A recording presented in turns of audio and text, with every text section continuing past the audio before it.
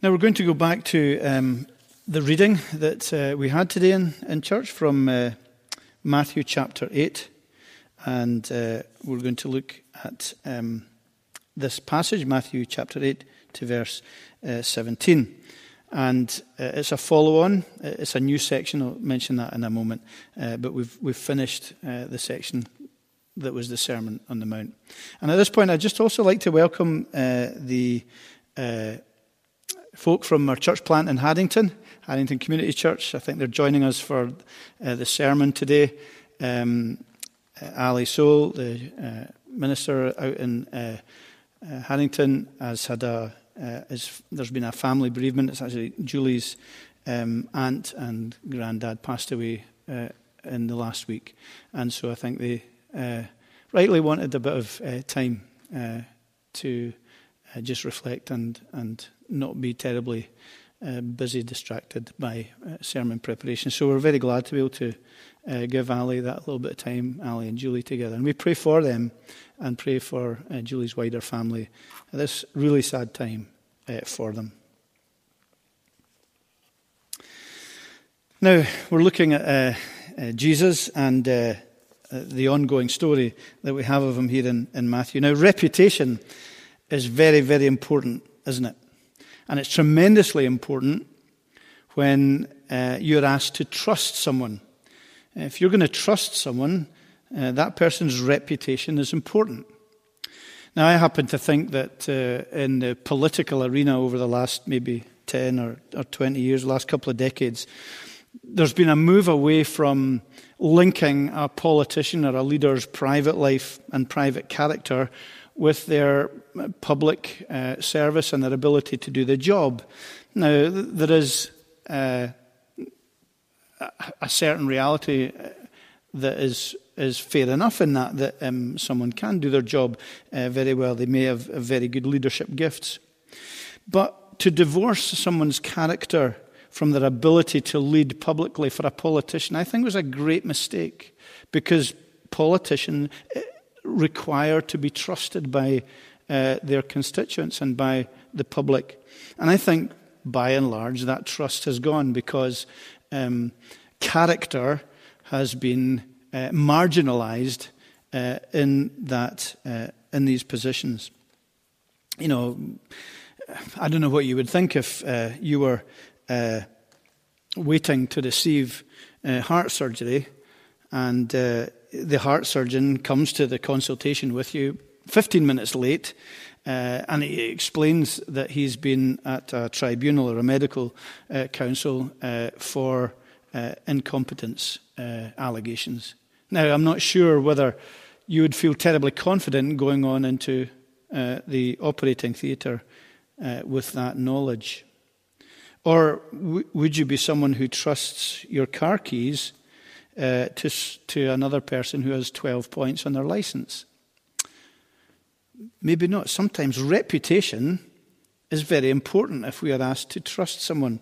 Billy Graham, not our Billy Graham, but uh, the American uh, evangelist, uh, once uh, had a, I think I've maybe mentioned this before in St. Columba's, uh, a great quote who said, a, a Christian is a person who can give his pet parrot to the town gossip. Think about that. Because the reputation of that person, what they are in private and what they are in public, uh, is the same. And they're not going to gossip or badmouth or speak about someone in private, which the parrot might hear and then and pass on to the town gossip. And in, in Matthew, what Matthew is doing here uh, in the gospel is building the reputation of Jesus. The reputation of Jesus matters. It mattered then and it matters now. He's making very big and significant and important claims. He asks us to entrust our lives to Him, somebody we can't even see. Uh, uh, huge claims He is making on our lives. And uh, therefore, His reputation And the character of, of Jesus is hugely significant and important, and who he claims to be. So when we come to, say, like a, a gospel, the Gospel of Matthew, it's not a random collection of events. It's not just something that's cobbled together. It's very ordered and it's divinely inspired. Now, if you have Bibles with you, you can turn back to Matthew chapter uh, 4 and verse 23. Matthew chapter 4 and verse 23. And there we have these words uh, And he went throughout all Galilee, teaching in their synagogues and proclaiming the gospel of the kingdom and healing every disease and every affliction among the people. And that is uh, what he has gone on following that verse, he's gone on to unpack. So, verse, chapters 5 to 7 is the Sermon on the Mount. That is his teaching and his preaching. And now, in this chapter, from chapter 8 through to the uh, end of chapter 9, we have uh, the healing uh, ministry of Jesus being spoken about. And he's building a reputation. Matthew is building Jesus' reputation. He's saying, Here are his words, now here are his deeds to back up who he is. Um, John the Baptist, uh, when he was imprisoned, he had, he had people following him, disciples, and he asked them to go and speak to, the, to Jesus and Jesus' disciples and ask him, Are you the Messiah? Are you the one who is to come? And we have that recorded in John chapter, uh, Luke chapter 7, verse 22. And Jesus answered them and said, Go and tell John what you have seen and heard. The blind receive the sight, the lame walk, lepers are cleansed, and the deaf hear, the dead are raised up, the poor have the good news preached to them. And so we see that the, the, the miracles, the healings that he did, uh, backed up his message and explained who Jesus was. Uh, we find that again in John's Gospel uh, in chapter 2, at the end of his first miracle. John says this is the first of his signs. It's a sign that Jesus did in Cana of Galilee and manifested his glory, and his disciples believed in him. Or even if we're moving forward, and I'm laboring this point because it's important, uh, in Acts chapter 2, where we have uh, the first sermon uh, that Peter preaches after the resurrection and ascension, um, and he said, Jesus of Nazareth, a man attested to you by God with mighty works and wonders and signs that God did through him in your midst, as you yourself know. So we have there that great truth um, that Jesus' character was attested by the great miracles he did. So the miracles really point to his character, they point to who he is uh, they're public signposts, particularly among a people who were uh, evidence to among a people who are cynical, who are unbelieving. He's setting forth his credentials by these amazing miracles. And there's, there, there aren't any other miracles like this. Uh, the people that he healed had, for the most part, incurable diseases. Wasn't the common cold they had. It was instantaneous. It was successful. It was unparalleled. Uh, even, even to the point of his, just his mere word uh, was powerful enough to heal. His touch. He healed people. He calmed storms. He raised the dead. Um, he is sealing his teaching not only as having authority, but being divine. He's, he's showing himself to have authority over disease and sickness and creation, and uh, his words uh, reveal uh, truth. So it points that these miracles that we read about in chapter 8 point to his, his character, but they also point to his mission. So when Jesus did these miracles of healing, it wasn't because he was a magician he wasn't a faith healer, he wasn't a guru. It's because these healing miracles were pointing to a deeper sickness that he came to deal with, a deeper brokenness, a deeper need. He is reminding us uh, and reminding his people that uh, we are all sinners before a holy God, and he has come on a healing mission. He has come to deal with our sickness spiritual sickness and with our pain and uh, with our guilt and with our death And in his life and in his death, he is bearing up uh, as our Saviour and our Lord. If you look at chapter uh, 8 that we've read and also verse 17, we've got that fantastic uh, quote from Isaiah chapter 53. This was to fulfill, written hundreds of years before, which was spoken by the prophet Isaiah. He took our illnesses and bore our diseases. Jesus is our great shepherd. He's the one who loves us, who lays down his life for us. And uh, his healing, uh, even though it was hugely significant in a physical uh, point of view for these people in the, in the stories is pointing to a much deeper healing. It's not just the healing of a broken leg or a cold, it's that healing of our soul, of our very being, of our whole person, of the whole direction, uh, the whole trajectory of where we're going, uh, rather than being away from God towards Him. So I want just to address a question um, and then look at uh, briefly the, the, two of the stories here uh, by asking what does, it, what does it mean today? What's the significance of, of this passage and Jesus healing today? Well, the reason God gives us this record uh, in what we believe is His own inspired word that uh, self evident and that is, is one that He claims for Himself is, is to give us the evidence of who Jesus is, is to build our understanding of his reputation and of his character. It is to be, enable us to present Jesus uh, as the one uh, and present his healing miracles and, and all his miracles as evidence to pers- begin to persuade cynical unbelievers about Jesus as the Messiah, as the Savior. That this is not just a great hero from the past, not just a wonderful leader, uh, not just a good thinker uh, and teacher, but God in the flesh. We have this recorded for us uh, as history to us, as his story to us, with the same aim. The same aim. There's no healing ever that has been paralleled to Jesus' healing here. And the gospel message that he has spoken in the Sermon on the Mount, and he goes on to speak through his life, and particularly by his death and resurrection, uh, it's authenticated by what he does. His words and his deeds go together. And that is hugely significant. His words, his work, and the teaching and preaching of the apostles are the foundation of our faith. And it is his truth that brings peace and restoration to us and healing.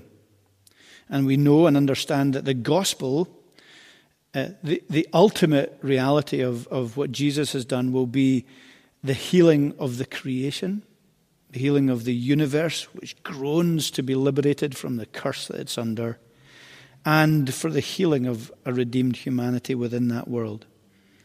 And He alone has the power and the authority to bring that to pass. So that's what it means for today. It's authenticating, it's building the reputation of Jesus for us to consider because he asks us to put our trust in him. But do we need these signs and wonders now? You know, where is that power today? You know, the power that was so remarkable in these stories. You know, many, maybe people, maybe you're listening in today and saying, well, I would believe in Jesus if I could see these things now. You know, why, why doesn't he do it? Well, can I say that I believe that God is sovereign and uh, he is all powerful and, and he will do what he will do and can do what he will do. Um, but I just want to say a few things about uh, these signs and wonders uh, in, in, in its broader context. Because the reality is that though some people might say, if I saw these things today, I would believe. Uh, the Bible argues differently. The Bible says that it's not a question of evidence, it's a question of trust.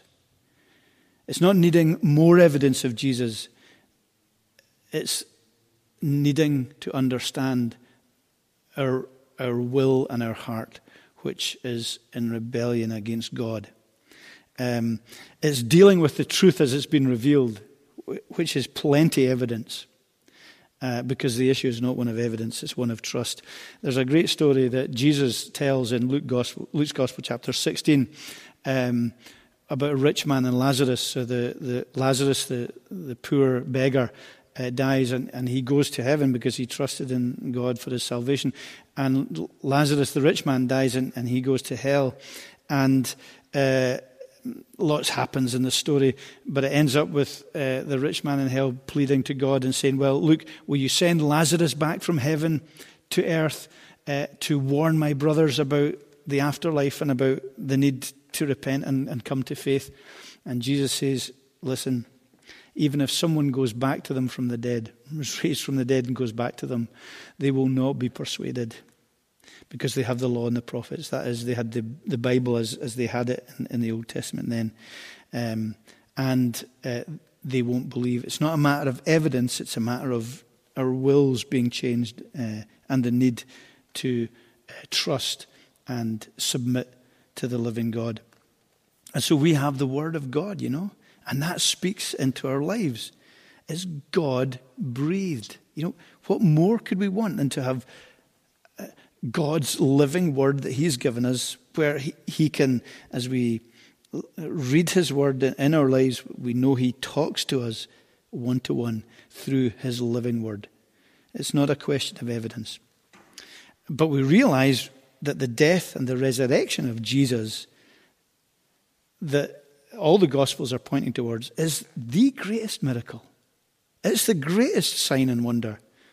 Nothing tops it.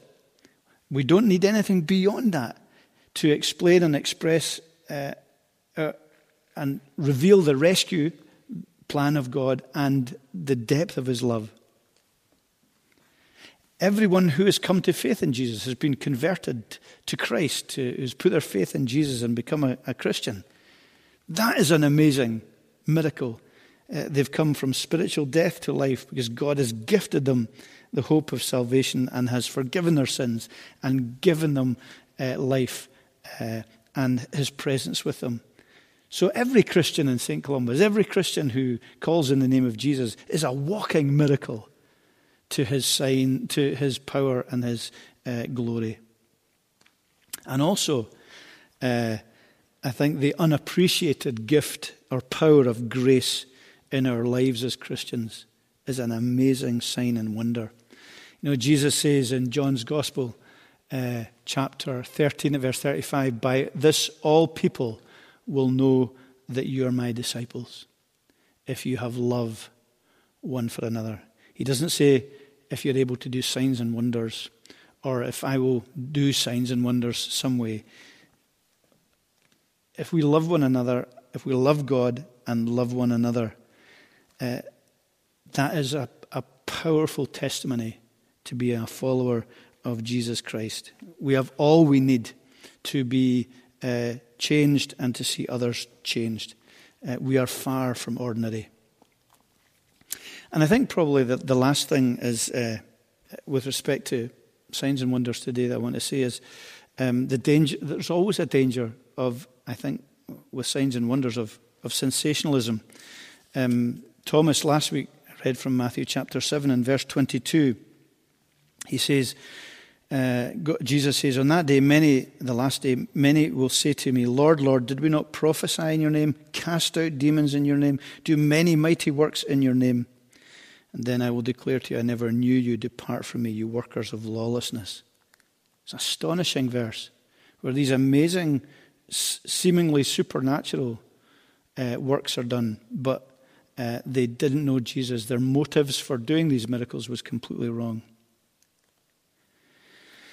And there is always that danger of sensationalism because it's physical healing is only a sign to deeper healing that's needed. The sign can't become the end in itself. It's not the root, the root problem. Even if I had the ability, the power uh, through God to miraculously heal people, presumably they would still die at the end of their lives, and they wouldn't necessarily uh, submit their hearts to Jesus Christ. Often, such power uh, among people can be sought for the wrong reasons, both the healer and maybe even the healed. The healing of the gospel is body, mind, and soul. And when we come to Jesus, he is doing, has done, and is doing and will do a, a continued healing of body, mind, and soul. And it's a lifelong work that he does in us, requiring patience and grace and perseverance. Absolutely, we've moved from death to life. We've moved from being estranged from God to being friends with God, and we are in his family. But he, he works in us and roots out remaining sin. And the paradox often is that suffering is often the means of that deeper healing that He's working in our lives. Pain, not being healed physically, or dealing with a slow, gradual uh, mental healing in our lives, spiritual healing, through often difficult times, is how He reveals His love and grace in our lives. So, can I just uh, briefly look at two of the healings here and take one or two lessons from them? Um, the first is the healing of the leper in verses 1 to 4, uh, where uh, Jesus comes down from the mountain and the leper runs up to him and says, If you're willing, make me clean. Jesus does the unthinkable. He stretched out his hand to touch the leper. The lepers in, in, the, in Jesus' society were, were untouchable, they were isolated, uh, they uh, were uh, ostracized and left out of, of company. Jesus touched him and says, I will be clean. And immediately the leper was cleansed, and Jesus told him to go to the Moses, uh, to go to the uh, temple, to the priest, and offer the gift of Moses uh, for proof to them that he was healed. So, just a couple of things here. We see deep need in the leper and also great faith. You know, he, he was really in need. You know, we've, we've glimpsed, we've tasted a little bit about social, social isolation in these days, um, and it's not a pleasant thing. Uh, his was far worse. He was separated uh, absolutely and entirely from his community and from his family and from all that he knew, and he was pushed out of town completely. It was dreadful uh, uh, because he was literally dying of this incurable disease called leprosy, inside and out, just dying. Yet he has great faith. He knows who to trust. He has heard about Jesus and he is putting his trust in this authoritative teacher and, as we will go on to see, this divine healer. And the great thing about it is that Jesus is willing. You know, he is willing to be clean. Lord, if you will. And Jesus said, I will. I will be clean. He, and he commands him to be clean. But he doesn't want adulation, and he, he, you know, he doesn't want uh, anyone to know about it because, because of that danger of, of maybe uh, people wanting healing or uh, wanting to witness healing for maybe all the wrong reasons. But he wants uh, the leper to fulfill the Mosaic law, the, the, Old Testament law, to go to the priest and to, to be um, testified to as being made clean. And in a sense, he's, what's he doing there? He's, he's, in a sense, he's saying, look, go to the priests, let them know there's someone greater than Moses here. But yet, uh, still, I want you to uh, fulfill that law, uh, and I want you to do so as a testimony that I am willing to fulfill the laws of the Old Testament, and uh, also as proof from those who were opposing him, because the priests were opposing him at this time, proof that whatever they say about him, there is a healed man in their midst, healed physically, and as he trusted in God, healed spiritually. So, are there any parallels for today with that story? Well, we may not be lepers, but uh, we're in deep need.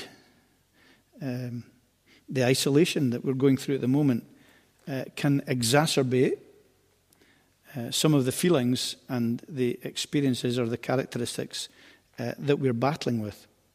It can be highlighting them, and uh, it, it, can be making them worse. Or sometimes our anxiety or, or our financial uh, problems or our lack of um, ability to plan for the future. It, it may be given as a time to reflect on other needs that we have in our lives. Maybe you sense that aloneness. Uh, you fear being unwell. You're afraid of dying. And uh, you're aware of difficulties and issues and problems in your life and heart. You need to think about Jesus' reputation. You need to think about his words and his deeds which backed up his words, his claims on your life, and his claims to expose your need for deeper healing, spiritual heal- healing from the disease of sin, which is common to every single person in this universe. That sin leaves us dead spiritually, dying physically, under God's wrath, and desolate. Great need, great need. But also the tremendous heart of Jesus the wonderful heart of Jesus, who uh, we're told hasn't come to condemn the world, but that the world through him might be saved. Uh, so as you call out to Jesus, he's a rescuing Savior. And uh, he's, there's a great immediacy in his response to us. As we come to him and cry out to him, there's no uh, lengthy waiting period before he responds. It, uh, he is willing, he is longing for us to come and ask for forgiveness and for healing from our sins and to know his cleansing, the cleansing that only he can give. And uh, as Christians, we are to be people who recognize his constant willingness to hear us, to hear our prayers, to hear our cries, to be in relationship with him uh, because that's the kind of God he is. This magnificent verse, verse 17, uh, which says that Jesus, in his willingness, took up our illnesses and bore our diseases. That great sense in which the, the, even the physical healing that he did speaks of what he came to do. He came to take up, uh, to, to take up our case, to bear the weight of uh, our uh, burdens or sickness uh, and to take it himself. You know, if, if someone takes up your case uh, and is interested in your life, then, especially if they're important, that's a great thing. But it's as if he, he takes the weight of, of all our lives and deals with it. There's a, an illustration, a little bit helpful, maybe from a great film, one of my favourite films called The Green Mile, uh, which is a fictional story uh, about uh, death row, um, a character on death row um, in the southern states of America. And his name is John Coffey. And uh, he is a big, big man. Um, and he's been wrongly accused of uh, murdering uh, two young girls. But he has this amazing gift of healing. It's fictional. Uh, but when he does heal, it's, it's in, the, in the story, in the film, it's, he touches or he's involved in the person, and it's as if the illness, uh, he takes it in himself, and it, it, it slowly destroys him because he takes the pain and he takes the cost and the suffering.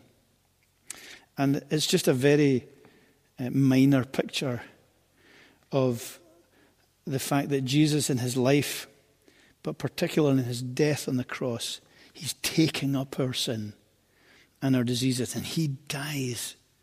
Not a victim, but dies in all his willingness to take the cost of our sins in order to redeem us and heal us and make us well. So you've got the leper, and you've also then got the centurion, the story of the centurion in verses 5 to 13. And it's slightly different story, isn't it? Because he has great faith himself, the centurion, and that faith enables him to see uh, the need in someone else. His servant is, is really sick and is probably going to die.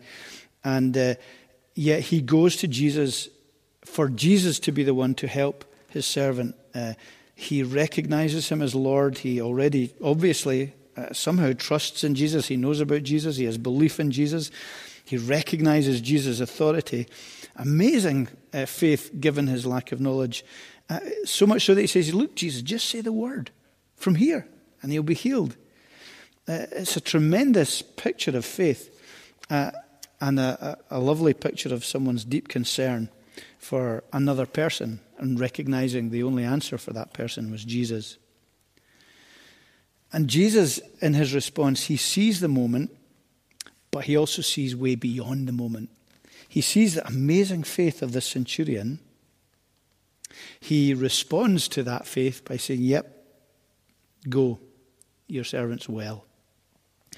But he also declares the surprising occupants of heaven. He, he looks forward from the story and sees that uh, it's he in the centurion is seeing someone who is uh, who has already been cleansed and is a recipient of faith and who will be with him in heaven, and he is basically saying those who had great religious knowledge around him but who rejected Jesus, uh, they wouldn't be in heaven but those who put their trust in Jesus from wherever they come from, they will be in heaven. Uh, they will come from the east and the west, and they will recline at table with Abraham, Isaac, and Jacob in the kingdom of heaven, while the sons of the kingdom will be thrown out into outer darkness. In that place will be weeping and gnashing of teeth. What's Jesus saying to us in this healing story? Well, I think he's reminding us that true faith is selfless just as it was in the centurion's case. As believers, we are to see Jesus as the only answer to our healing, our cleansing, our uh, sins being forgiven, but also the only answer to other people's. And we plead for others in prayer. That's what we've been doing in these last few days of seven days of prayer. Uh, we uh, tell our friends about who Jesus is. We understand the awesome authority of Jesus that He is the only one that can heal anyone and everyone. We take risks and we're not afraid to declare our allegiance to Him at whatever the cost. So there's a selfless element that we can learn from this centurion. But also, we learn that Jesus sees the world or sees a world that we only see by faith. Jesus here and in many other places in the gospel reaches into another real but unseen world, into uh, the unseen uh, spiritual realm, heaven and hell, into the future. And he just declares here the consequences for accepting or rejecting Jesus, both now and in the future. He says there is life after death. Um, he says, he, he refers to it so often. Uh, he says there is a heaven and a hell, there is a God and there is a devil. He says there will be a feast and there will be a famine. There is light and there's darkness. There is life and there's physical death. And then there's spiritual, eternal, second death. There's joy or there's despair. And he says that accepting Jesus to heal our sinful hearts and to cleanse us is the only way to know him, both now and forever. That's why his claims are so important and are backed up by these remarkable evidences of his miraculous power, not just over sickness and creation, but over death and over sin. So I think heaven will be full of surprises. I'll be there. That's a surprise. And it's a surprise that grace makes us realize that we, we are unworthy, but we are not worthless because of what Jesus has done for us those who are religiously self righteous or who are moralists and who reject the message and the authority of Jesus and who don't come to Jesus to be cleansed. There is no place for them at that great feast, that great place called heaven. Who doesn't want to be well? The title of the sermon was I Want to Be Well. Physically, we all want to be well. But there's a deeper healing, a deeper health, a spiritual health that Jesus alone can offer. And I would love you, if you're not a Christian, to seriously consider the authority and the claims of Jesus Christ for today. He's transformed and changed the lives of every Christian uh, in St. Columba's and beyond. And as Christians, will you, even in this lockdown, and you may be battling and struggling with many things, praise Him? Because you are a miracle. You are a sign and a wonder of the great miraculous power and strength of the living God. Amen. Let's pray. Father, uh, we ask and pray that you would help us to understand who you are. We pray that you would bless all who have listened to the reading and uh, what we have sought to bring out from the reading. We pray that you would speak into people's hearts and lives and consciences, all of us, preacher, hearer alike, believer or unbeliever, and that, Lord, uh, we would deal with you and talk to you and ask for your help, your healing, and your grace. Amen.